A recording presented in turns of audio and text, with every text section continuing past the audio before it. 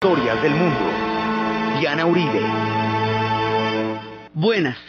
Les invitamos a los oyentes de Caracol que quieran ponerse en contacto con los programas, llamar al 245-9706, 245-9706 o escribir a los emails de auribe arroba hotmail.com, de arroba hotmail.com o a la página web www.dianarayauribe.com. Hoy vamos a ver la formación del modo de vida americano, los 50.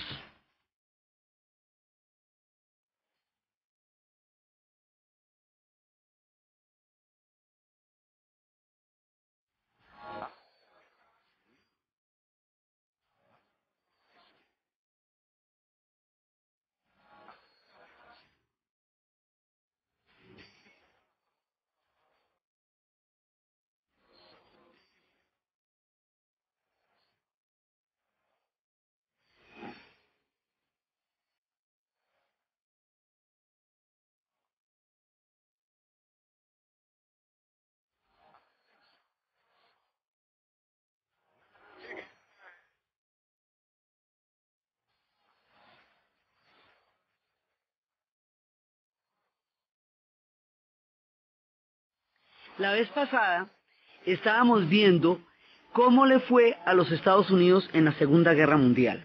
Y habíamos visto que a diferencia del resto del planeta Tierra, que pagó esa guerra con unas consecuencias aún que pesan todavía en la conciencia colectiva a los Estados Unidos, les tocó una vivencia distinta.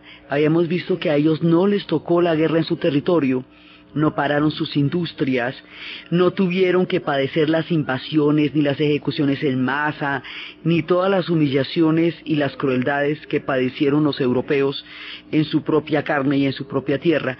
Y habíamos visto cómo esto los va a fortalecer económicamente hasta convertirlos en la primera potencia. Cuando termina la guerra, hay una canción que es la canción de la Blanca Navidad, que se toca en diciembre de 1945. En ese momento se celebra la primera Navidad en paz de los últimos cinco años. Ha terminado la Segunda Guerra Mundial y en las estaciones de radio se escucha la voz de Bing Crosby cantando la Blanca Navidad diciendo que la guerra ha terminado.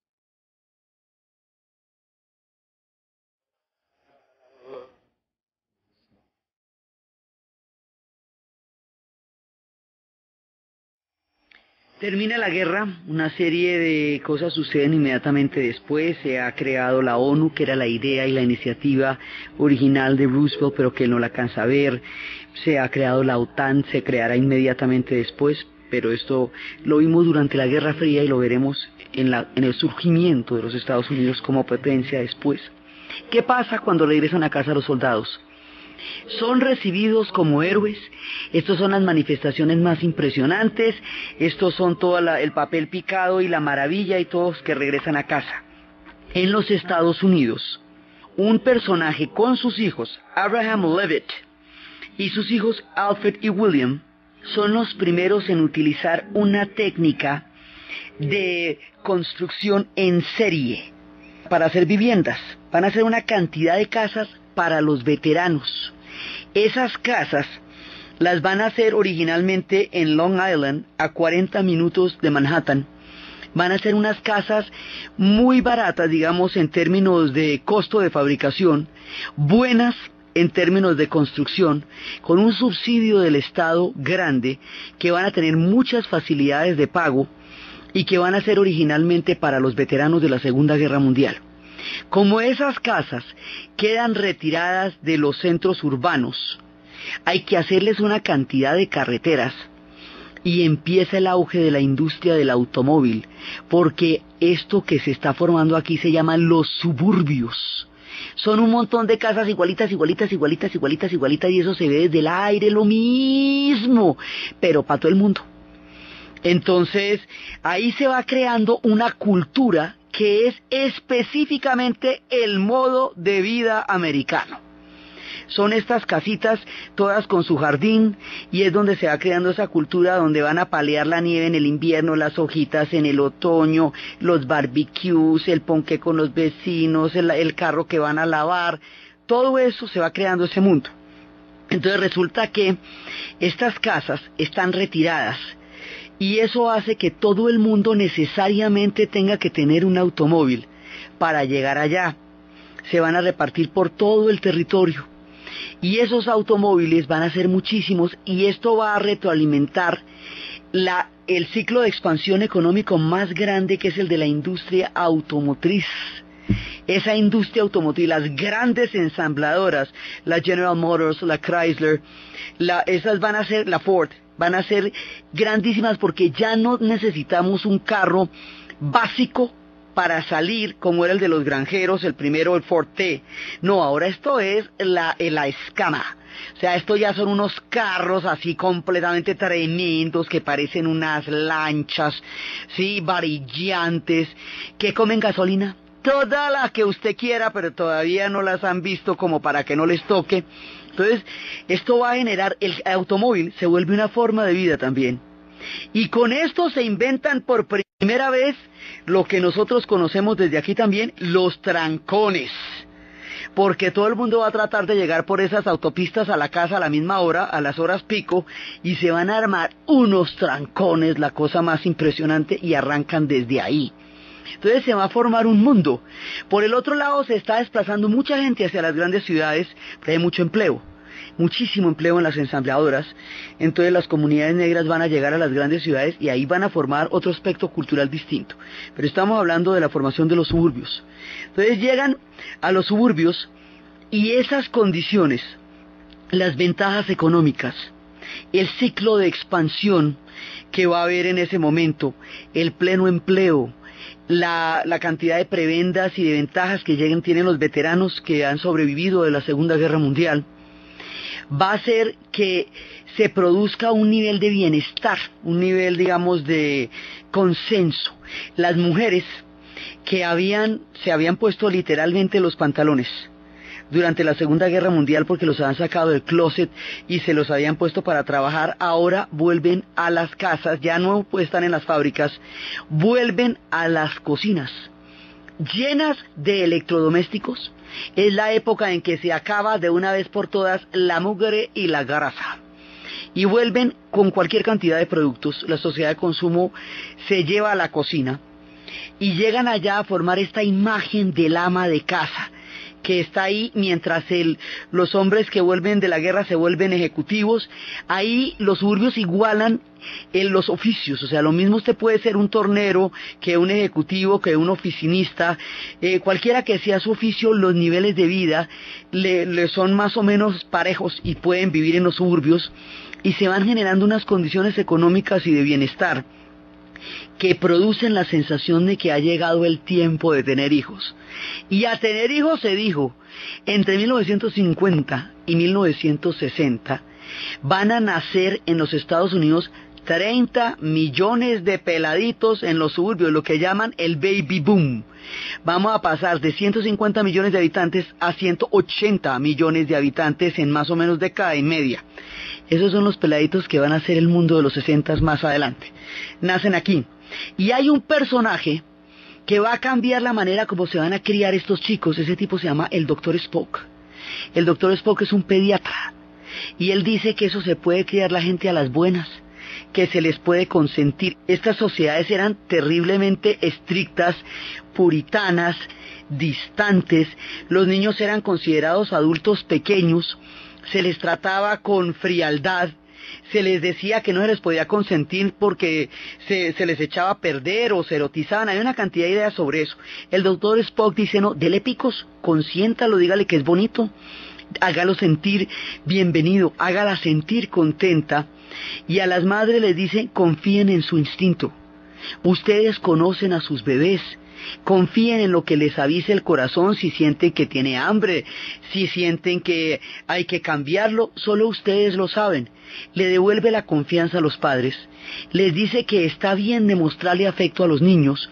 Los niños empiezan a surgir en los suburbios como un grupo social importantísimo y por eso es que también Walt Disney va creando el mundo de los niños. El doctor Spock lo va creando desde la pediatría. Los suburbios empiezan a dar los espacios de parques, de calles, para que los niños tengan un mundo ahí y se va formando toda una cultura en medio de los suburbios que está caracterizada por esta cantidad de niños y este nuevo enfoque en la educación, que es el enfoque de una educación en donde se exprese la ternura, en donde haya diálogo, en donde se hable, se les trate de una manera cariñosa y amable. Eso va a cambiar la perspectiva de la educación a, a la de la letra con sangre entra, pues eso es otra cosa. Entonces, van creándose todo esto y otra de las, de las posibilidades que va a caracterizar los suburbios, que lo vamos a seguir desarrollando ahora y más adelante, es un invento que viene de una palabra griega que se llama tele, que significa distancia, mezclada con una palabra latina que significa visión, televisión, la televisión. Esto empezó desde 1900 están haciendo los experimentos. Constantin Perkins la presentó, presentó una idea en la Feria Mundial de la Electricidad en París. Y la idea era transmitir eh, fotografías, o sea, básicamente la idea es cómo se van a transmitir las fotografías.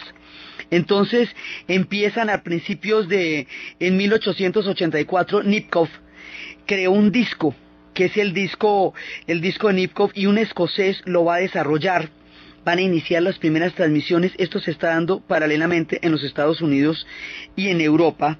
Y es como, conseguir y transmitir imágenes.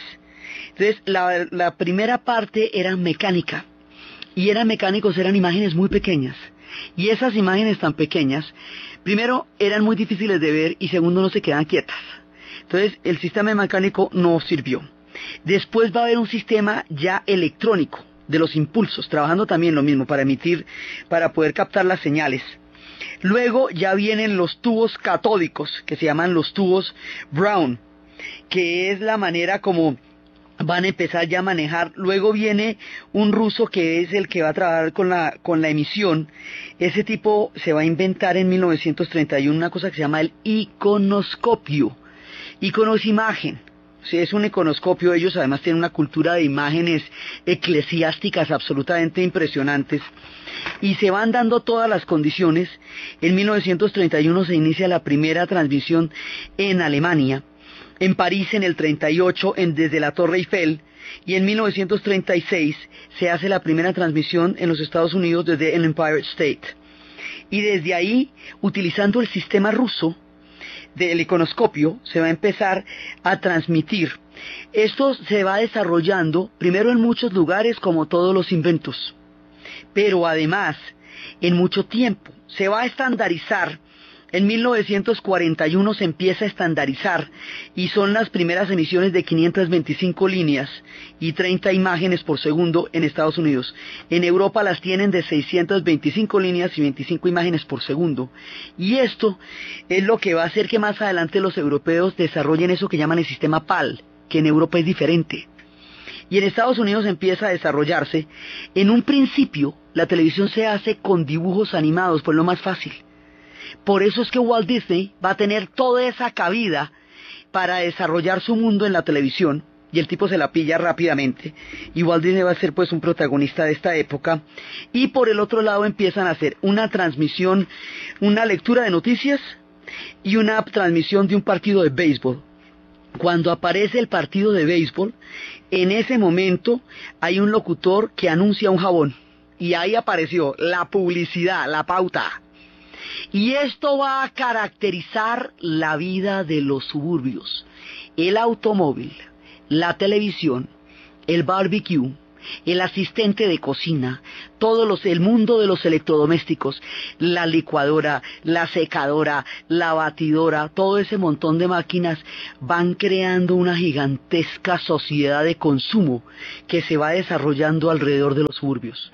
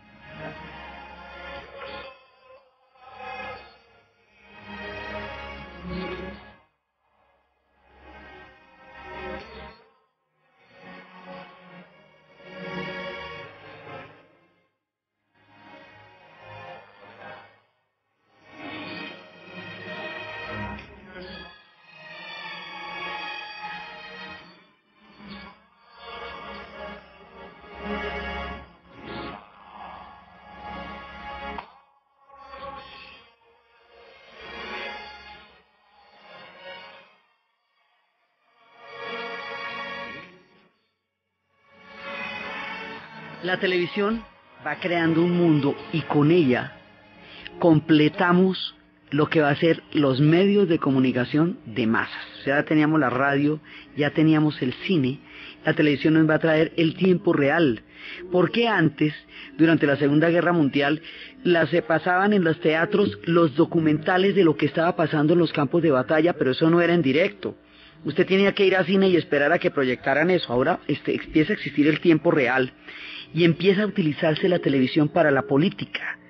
La campaña de Eisenhower ya no intentaba mostrar programas o planteamientos, sino eslogans, diciendo que todo el mundo quería Ike, que Ike es la abreviatura de Eisenhower, ¿no? Le decían Ike. Entonces, no, que yo quiero Ike, que Ike tan bonito, que Ike tan chévere. Entonces, empiezan a manejar el eslogan para vender en sí mismo una candidatura. O sea, esto va empezando desde que, desde que se estandariza la televisión hay una situación que resultó muy famosa en la época y es que eh, el compañero de fórmula de Eisenhower era Nixon, Richard Nixon, y a él lo estaban acusando de haber malversado unos fondos desde chiquito. Y el hombre apareció diciendo que él no había recibido esos fondos, que él era, que él nunca había recibido ningún tipo de sobornos, que él era un, ciudadano del común, que su esposa Pat tenía un abrigo de paño de esos populares, que ellos no tenían ningún tipo de, de prebendas ni nada, que lo único que les habían dado a ellos y a su hija de seis años era un perrito que se llamaba Chansey y que ese perrito sí lo pensaban conservar, pero que dinero y nada de eso les había dado. Esta demostración de humildad y de, abriguito y de perrito y de todo eso, le ganó la popularidad y los aplausos y desde ahí empezó a venderse por televisión ese tipo de dramonones. Entonces que usted lo que tiene es el perrito y ahí se van formando estas imágenes y estos condicionamientos que van a generar lo que es el mundo del espectáculo y de la política. Entonces, por un lado se va creando todo esto y ya empiezan los análisis del poder que esta televisión tiene a partir de un personaje que se llama Marson McLuhan, que dice que el mensaje es el medio. O sea, que usted ahí no sabe si es verdad o mentira lo que el tipo le está diciendo, es que se lo dice de una manera que lo enternece y usted le cree, porque el mensaje se vuelve el mismo, el, el medio se vuelve el mismo el mensaje. Y empieza a, a aparecer un concepto que no había existido antes que se llama la aldea global. Porque es que usted en esa cajita puede ver lo que está pasando en todas partes y millones de personas lo están viendo al tiempo. Entonces aquí va a haber un cambio en la cultura que es un salto gigantesco. Después vamos a ver cómo esto va avanzando a medida que va avanzando la historia de la posguerra de los Estados Unidos, pero va a ser uno de los elementos fundamentales. Después esto se nos va a llenar de miniseries sobre esta gente que les estoy contando de los suburbios que están en los carros, en esos Cadillacs y en esos Osmobiles. Eso, todo eso van a ser los protagonistas también de las miniseries. La televisión es otra de las características fundamentales del mundo de los suburbios. Entonces todo el mundo se va creando alrededor de esto, también se va a crear el music hall, es decir, las, eh, lo que van a ser las comedias cantadas, o sea, lo que es un argumento cantado. El primero es una historia de Oklahoma y va a ser una parte fundamental y después va a ser My Fair Lady, de la que habíamos hablado y vamos a hablar más adelante. Y el music hall, esta puesta en escena musical, va a ser una de las características del mundo del espectáculo de los Estados Unidos.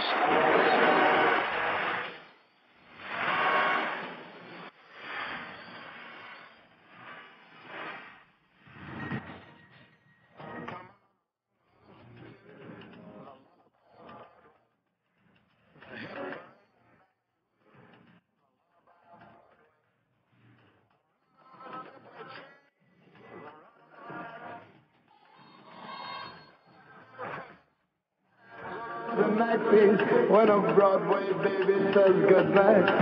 It's early in the morning. Manhattan babies don't sleep tight until the dawn. Baby. El Music Hall va a crear también todo un ambiente de la época.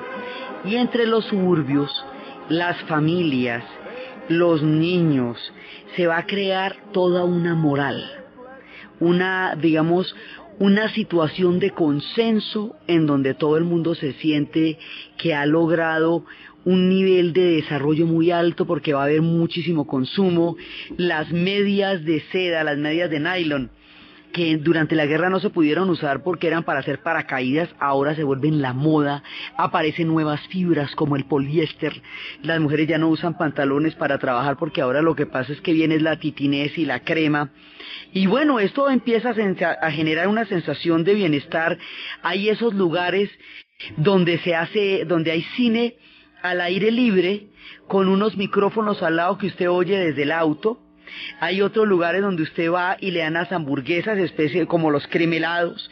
Es la época de American Graffiti. Se va generando toda esta cultura acá. Hay otro, otra, otro gran invento que va a ser fundamental aquí. Y es el LP, el long play, el larga duración. Antes había unos discos que tenían, duraban 5 minutos y se movían a 45 revoluciones. Ahora van a aparecer unos que tienen 25 minutos por un lado y 25 minutos por el otro, que se llaman los acetatos, los conocemos aquí como acetatos o long play, LP. Y esto tiene muchísima más música, eso masifica la música en ese momento y aparece el transistor y con el transistor el radio se populariza a unos niveles impresionantes. Más adelante, cuando en esta década surja, que lo vamos a ver por su importancia en un capítulo aparte, el rock and roll, es el LP y el transistor lo que le van a dar la vía para que transforme el mundo una vez que irrumpa a través de sus grandes creadores. Pero en este momento todo parece muy bueno, hay una, esta moral que se va a crear en los suburbios, empieza a bajarle la caña a, todas las antiguas vampiresas, va apareciendo en el cine una cosa que se llama el Código Hayes, y el Código Hayes es una vigilancia a la moral en las películas, entonces la época de estas mujeres como Mae West, y estas vampiresas así, que eran fatales, y que eran muy sexys, empiezan a desprestigiarla, se vuelve importante es la figura de la familia, de la familia de paquetico, papá, mamá, niño, niña, perro y gato, sí, que es lo que se va a ver reflejado en la, todo el tiempo en la televisión y empieza a haber una censura muy fuerte contra la sexualidad. En la televisión va a ser pues muy bravo y en el cine también va a haber muchísima censura, es cuando los besos empiezan a disolverlos en negro, eso no, no hay, desde los 40 se están disolviéndolos, ya aquí están enfundidos en negro de una manera mucho más, eh, más clara y evidente. Entonces todo esto es como un gran ponqué todo el mundo contento, esto la maravilla, el consumo hace que todo el mundo se sienta que han llegado a unos niveles de desarrollo muy grandes, que mire qué cantidad de inventos, todos esos inventos que hayamos empezado a gestar desde el momento mismo en que empieza a desarrollarse el, el proceso industrial, ahora se convierten casi en un fin en sí mismo. El modo de vida americano está marcado por todos estos inventos a la vez, por los automóviles, por las televisiones, por todo a la vez, y esto les hace sentir que su forma de vida es una forma de vida óptima, es una forma de vida eh, democrática, igualitaria, eso les parece que eso todo es dicha, y eso lo exportan como un imaginario de lo que es la felicidad y de lo que es el haberlo conseguido todo en la vida.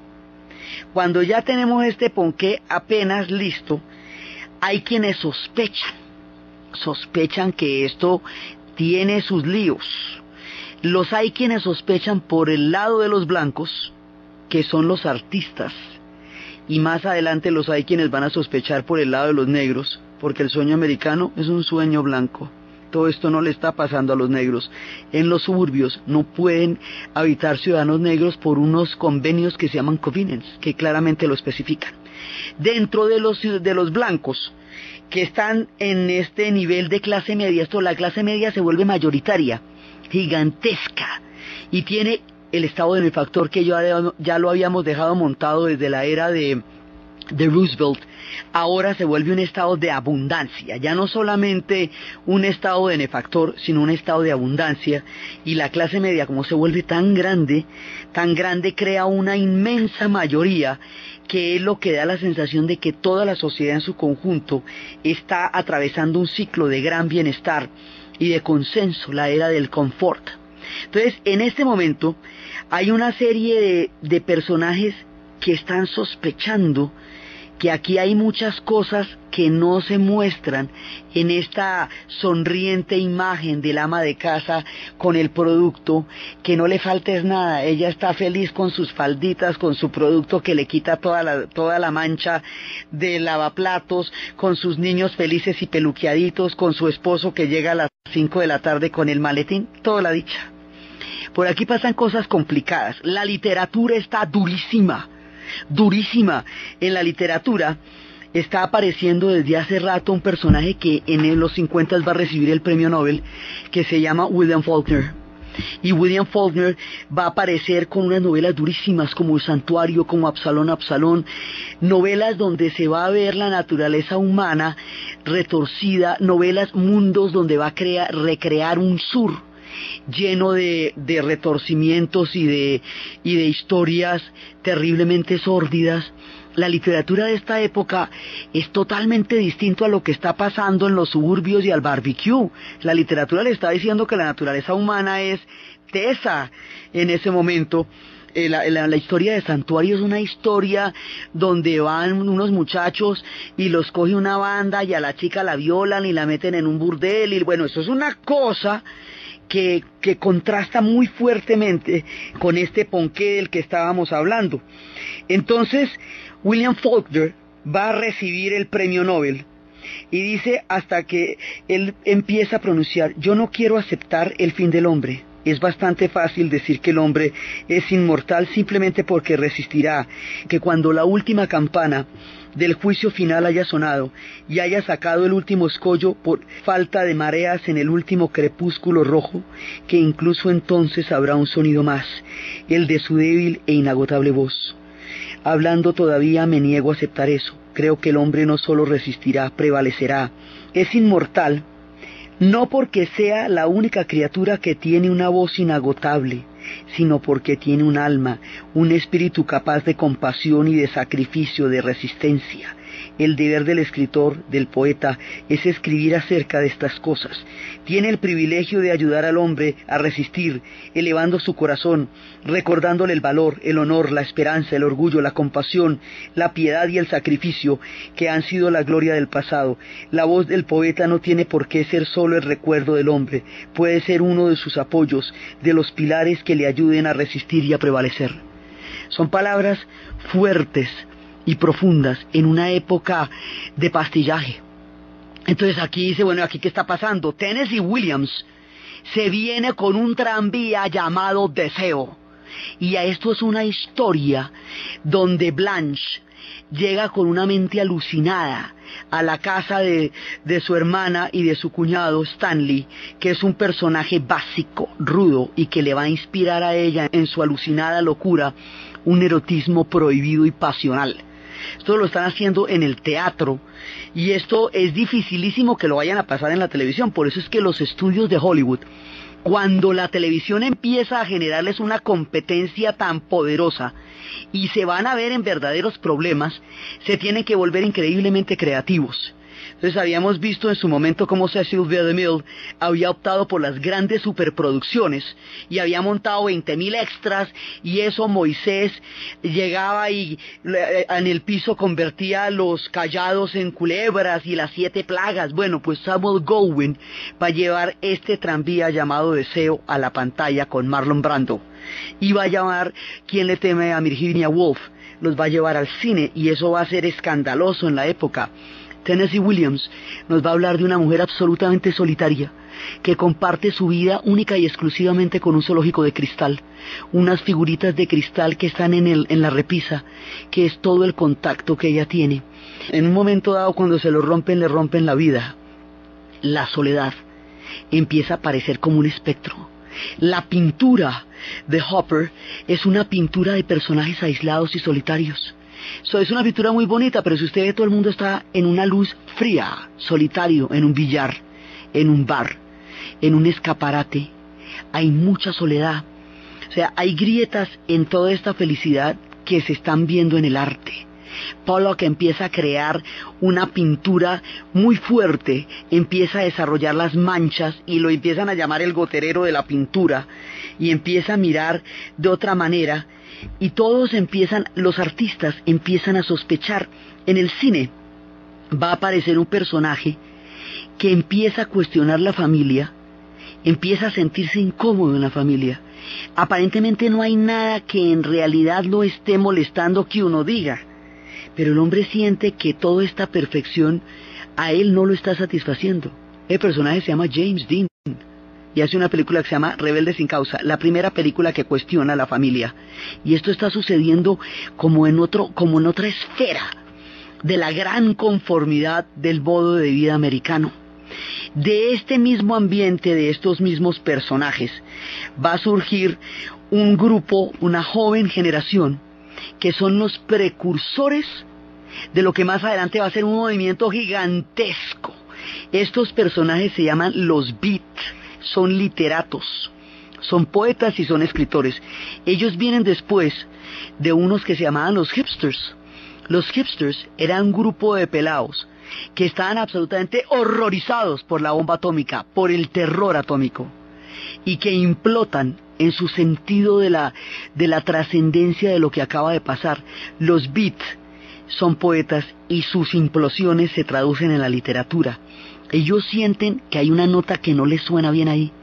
Hay algo que no les parece, pero todavía no saben qué es.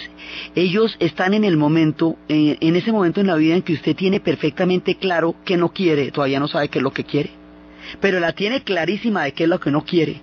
Entonces ellos empiezan a, digamos, a dar como unos campanazos sobre un, cierto tipo de quiebre en este modo de vida americano que se ve absolutamente esplendoroso y van a traducir, los beats son un grupo de poetas compuestos por Allen Ginsberg, Carl Solomon, Jack Kerouac, Diane D. Prima, eh, Ramiro de Corso, varios de ellos van a estar allá. Y hay un poema que le va a hacer Allen Ginsberg a Carl Solomon, uno de los hombres que, perdió la mente, digamos que en, todos estos descubrimientos exploraciones y dice, en algunos apartes vi las mejores mentes de mi generación destruidas por la locura, hambrientas, histéricas, desnudas, arrastrándose por las calles de los barriadas negras al amanecer en busca de un pinchazo, o sea, de un, una, de un agujazo, hipsters con cabezas de ángel ardiendo por la antigua conexión celestial del, del estrellado dínamo de la maquinaria nocturna, que los pobres y los harapientos y los ojerosos y los drogadictos pasearon en la noche formando la oscuridad sobrenatural del apartamento de agua fría, flotando sobre las cimas de las ciudades, contemplando el jazz que desnudaron sus cerebros ante el cielo bajo él y vieron a los ángeles maometanos tamboleándose por los techos iluminados que pasaron por las universidades con radiantes ojos imperturbables alucinados en Arkansas y que fueron expulsados de las academias por locos y por publicar odas obscenas en las ventanas de las calaveras. Este es un poema enorme enorme y hace alusión a un mundo marginal que lo está dando en ese momento el jazz y estos personajes van contando cómo, eh, cómo la locura, el delirio, la deshumanización están presentes en toda esta sociedad tan esplendorosa. Y dice que esfinge de cemento y aluminio abrió sus ojos y sus cráneos y devoró sus cerebros y su imaginación.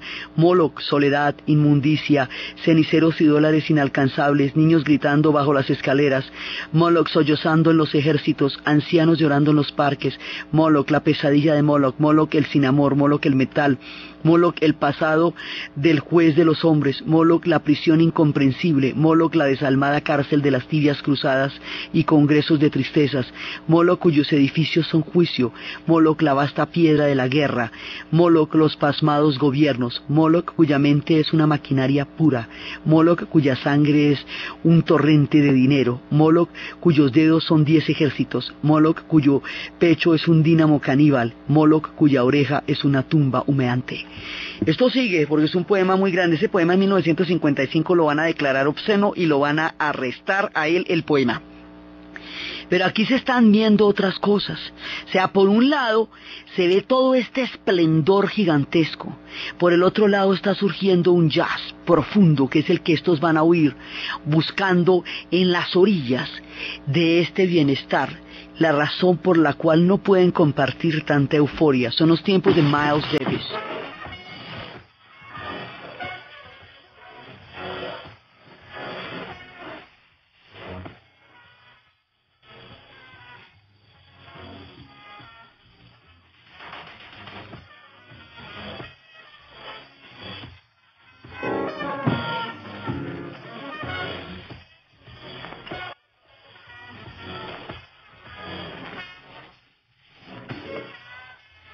Todos estos tiempos de esta censura moral, es precisamente cuando se va a fundar Playboy, es cuando Henry Miller va a escribir Trópico de Cáncer, Trópico de Capricornio, Sexus, y va a crear una sexualidad fuertísima en la literatura explícita, nunca vista, enloquecedora.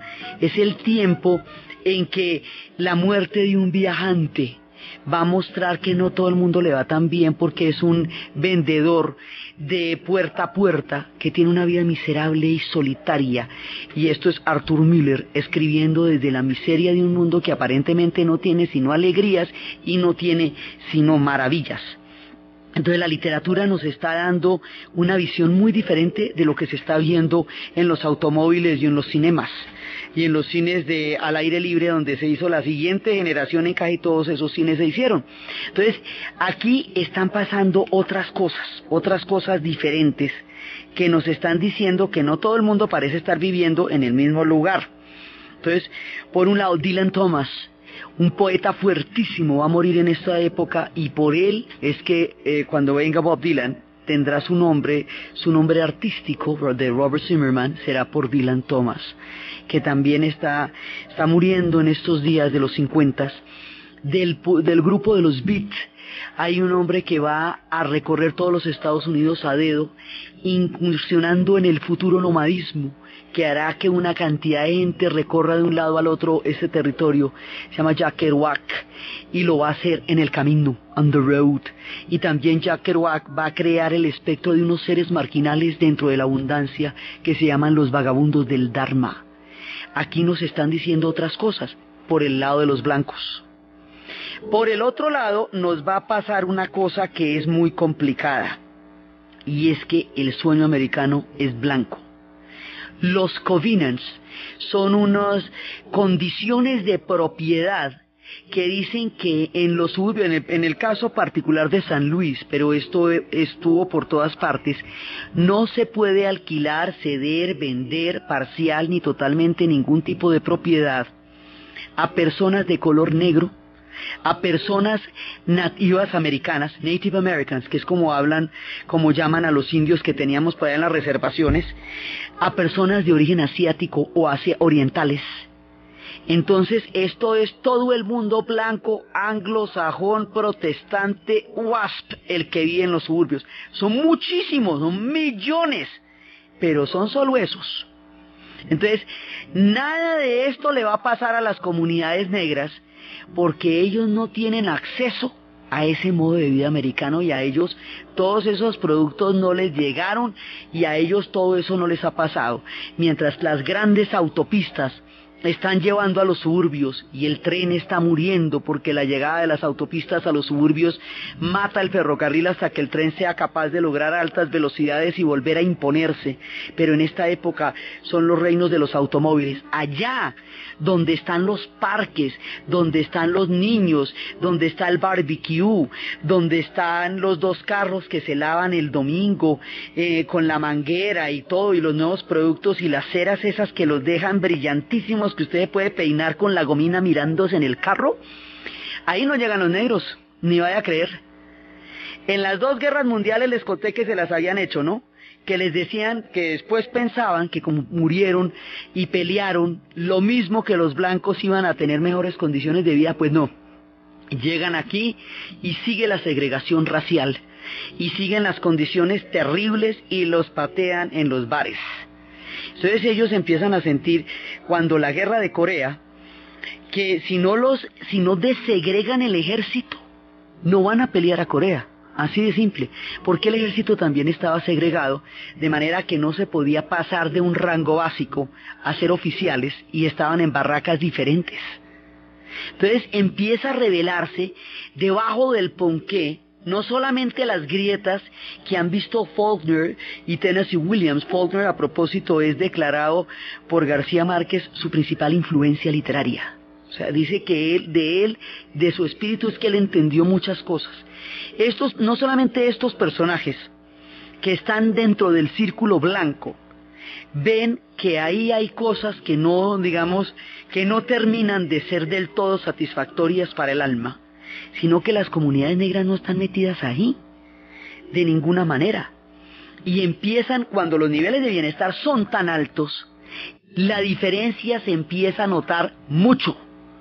Porque una cosa es la vida de las comunidades negras y otra cosa es la vida de los suburbios.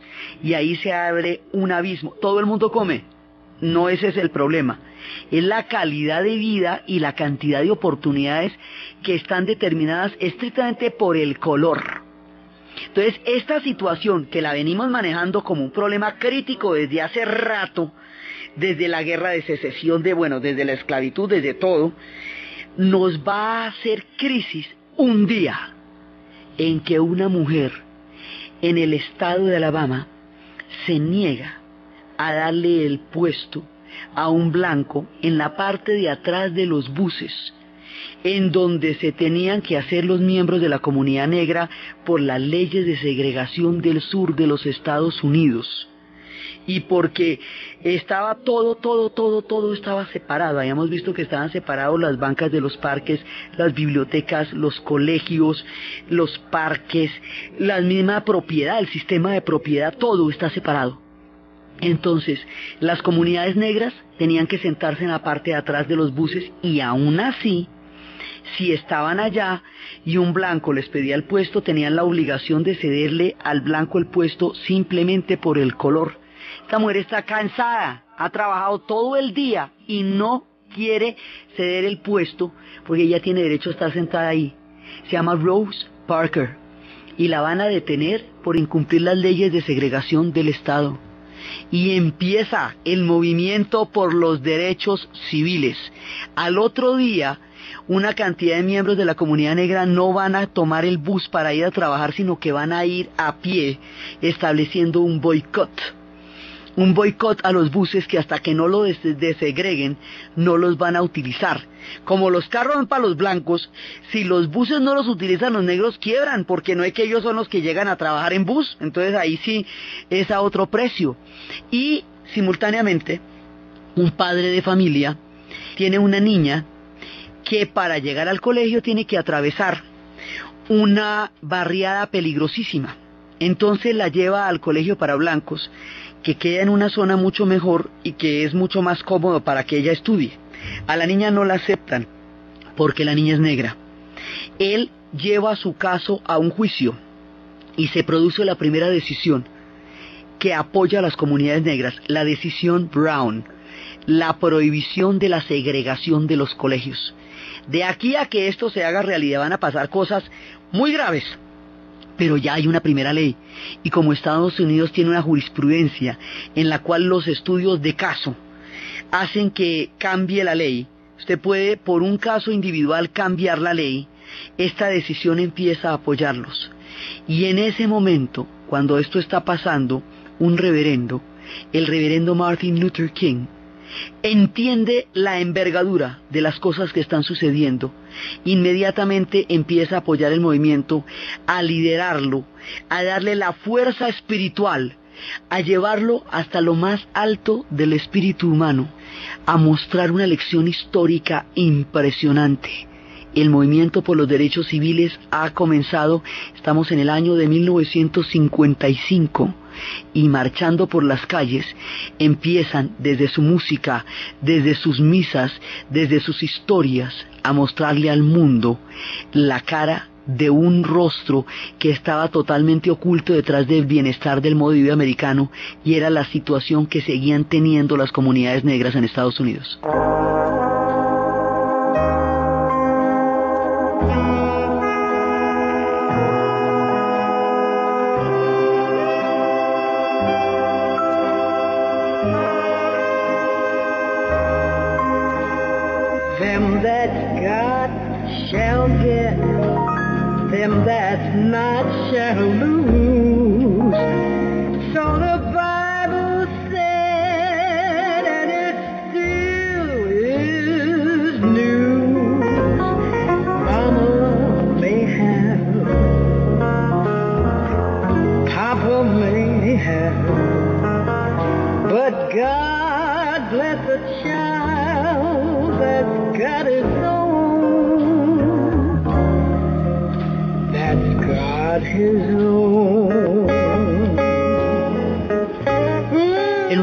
Por los derechos civiles iniciará una nueva era en la historia no solamente de los Estados Unidos, sino de la conciencia mundial.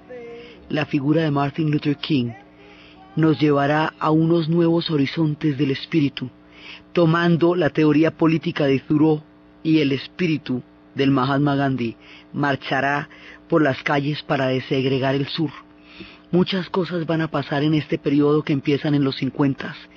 Simultáneamente, mientras están dando las marchas por los derechos civiles, la década está marcada por un fenómeno de persecución e intolerancia de una recordación sumamente delicada e ingrata, el macartismo que es toda la persecución y la cacería de brujas a todos los que se consideraban antiamericanos por el recién fundado en un momento de locura Comité de Actividades Antiamericanas. Van a empezar a aparecer tiras cómicas de niños que no se encuentran felices. Charlie Brown, Carlitos, va a aparecer también en esa época y son niños tristes aún en medio de este esplendor. La marcha por los derechos civiles, el macartismo, con todo lo que eso va a implicar en la televisión, en el cine, en la novela negra, en toda la estructura policíaca, en la increíble intelectualidad que en ese momento estaba en los Estados Unidos, en las vertientes críticas que miraban la sociedad con otros ojos, y lo que va a pasar como consecuencia de la guerra de Corea, van a desatar todas estas persecuciones, es lo que vamos a ver en el siguiente programa.